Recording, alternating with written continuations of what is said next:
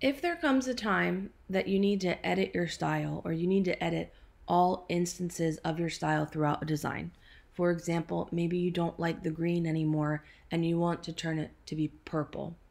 There are two main ways to edit a style.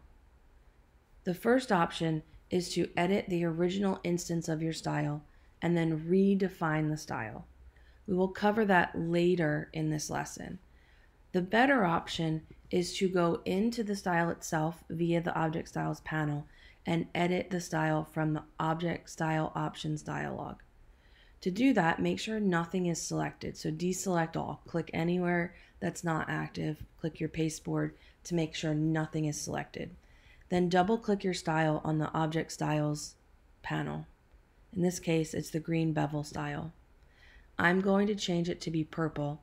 So before I do anything, let's change the name of the style to be purple bevel so that we don't get confused. Then I can change any of the settings that I see inside this panel. There are basic attribute settings, there are effect settings, and export settings. I want to change the fill color. So I would select fill from the basic attributes and then come down here and choose a different color. You can double click the fill swatch to launch the new color swatch option and then you can save the purple color that you're wanting. So we need to get rid of yellow and choose the purple that works for us. When you select OK, it will be added to your list of swatches, which means you can then select it. Now, I'm not sure if that's the correct purple that I want, so if you hit preview in the bottom left hand corner, you can see what that looks like. And I don't know that that's the, that's the best option. So I want to choose a different purple color. Maybe I want one that is more blue. And then I can test that color.